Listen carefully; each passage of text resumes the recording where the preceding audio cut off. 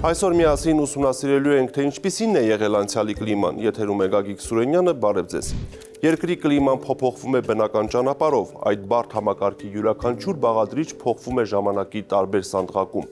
Մտնոլորտում փոփոխությունները կարող են տեղի ունենալ ժամերի ընթացքում եւ նրա մանրակրկիտ վարկագիծը անհնար է կանխատեսել ոչ ավելի, քան 5 օր առաջ։ Օվկիանոսի վերին շերտերն արձագանքում են կլիմական փոփոխություններին մի քանի տարվա ընթացքում, այն դեպքում, երբ փոփոխությունները խորը օվկիանոսում կարող են ի հայտ գալ նույնիսկ դարեր հետո։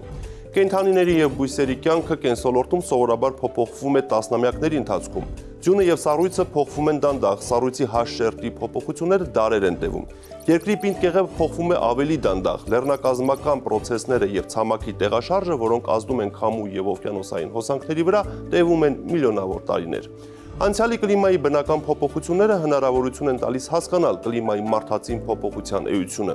Անցյալի կլիմայի մասին գիտությունը պատկերացում է տալիս կլիմայի ապագա փոփոխությունների չափերի մասին, որոնք կանխատեսում են նաև կլիմական մոդելների օգնությամբ։ Վերջիներս գիտնականների համար ստեղծում են նաև կլիմական երևույթները հասկանալու հնարավորություն եւ դրանք մոդելավորելու ունակություն։ Գլոբալ ջերմաշճանի մասին սիստեմատիկ տվյալներ կան միայն 1860 թվականից սկսած։ Այս տվյալները վերաբերվում են ցամաքի եւ ծովի մակերևույթի վրա օդի ջերմաստիճանին։ Սակայն դրանք կարիք ունեն մանրամասն ստուգման, շեղումների հայտնաբերման նպատակով, որոնք կարող են լինել դիտարկումների, մեթոդների եւ դիտարկման տեղի փոփոխության հետևանքով։ Օրինակ, բազմաթիվ օթերևութաբանական կայաններ տեղադրված են քաղաքներում կամ նրանց կից տարածքներում, Մեծ քաղաքը աճելով կարող է տեղական կլիմայի վրա թողնել տաքացնող ազդեցություն։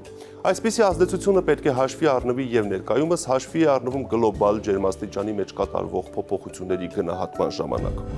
Ավելի վաղ շրջանների կլիմական պայմանների ուսումնասիրությունը հիմնվում են անուղակի ապացույցների վրա։ Օրինակ լճի փոփոխված մակարդակը կարող է պատկերացում տալ անցյալում տեղումների քանակի եւ գոլորշմիացման ծավալի միջև եղած տարբերության մասին։ Անցյալի մասին տեղեկությունները կարող են պարունակել ծառերի տարեկան օղակները, սառցեվահանները կամ օվկիանոսային նստվածները։ Օգտագործելով չափումների, մոդելների եւ համակարգի հիման վրա ստացված տվյալներ, գիտնականները կարող են չափման ենթակա մեծությունները վերափոխել ֆիզիկական փոփոխականների։ Մի քանի միլիոն տարի շարունակ երկրի վրա իշխում էր սառցապատման դարաշրջանը։ Հավաստիորեն կարելի է պնդել, որ սառցապատման պատճառը երկրի առանցքի թեկության փոփոխությունն էր եւ արեգակի շուրջը նրա պտույտի դանդաղումը։ Այս կարգի տատանումները փոխել են մոլորակի կողմից արեգակից ստացվող էներգիայի քանակը, հատկապես նրա աշխարհագրական բաշխումը։ Սառցապատման ժամանակաշրջանում գլոբալ ջերմաստիճանը նվազել է 5 աստիճանով եւ սառցեվահանը ծածկել է Եվրոպայի եւ Հյուսիսային Ամերիկայի մեծ մասը։ Սառցապատումը կատարվել է մի քանի ցիկլով եւ ընդհատվել է ավելի տաք միջսառցադաշտային ժամանակաշրջաններով։ Մտնորդում ջերմոցային գազերի կոնցենտրացիաների փոփոխությունները հավանաբար նպաստել են սառցապատման ցիկլերի տևողության ավելացմանը։ Երկրի ուղեծրային տատանումների հետևանքով արեգակից ստացվող էներգիայի քանակի աննշան փոփոխությունները դեռևս բավարար չէին, որպիսի սառցապատման ցիկլերի ընթացքում առաջ բերեին ջերմաստիճանի զանգվածային փոփոխություններ։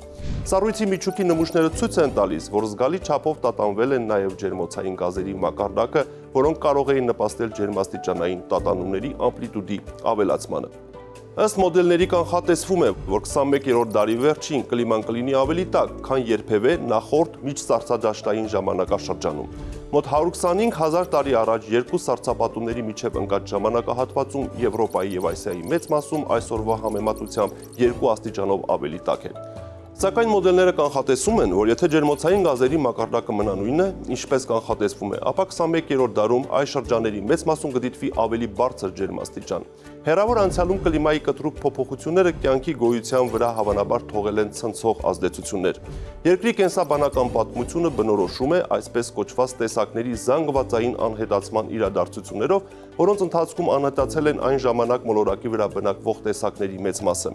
Զանգվածային ոչնչացման համար եղել են բազմաթիվ պատճառներ, սակայն տվյալները վկայում են, որ իրադարձությունների մեծ մասը համընկել է կլիմայի փոփոխության հետ, որն իր չափով նման է 21-րդ դարի համար կանխատեսվող փոփոխ փոփոխությանը։